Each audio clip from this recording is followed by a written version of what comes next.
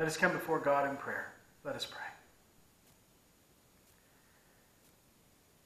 Lord, take us into a time like nothing we've ever experienced before.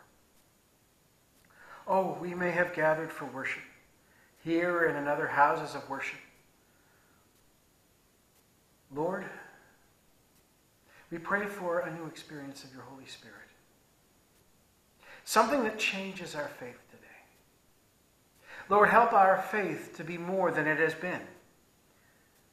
Lord, we pray for insight, inspiration, understanding. We pray for wisdom, as did Solomon.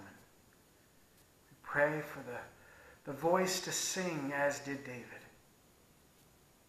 Lord, we praise the name of our Lord and Savior, Jesus Christ.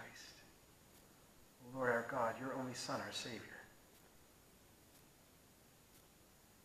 We ask, O oh Lord, to understand how to be like him, how to represent him to others, how to hear his voice in the inspiration your Holy Spirit gives us. Lord,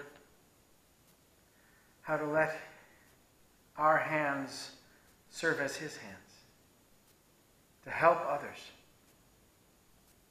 to bow and pray, even as we now do in his name to your glory and praise.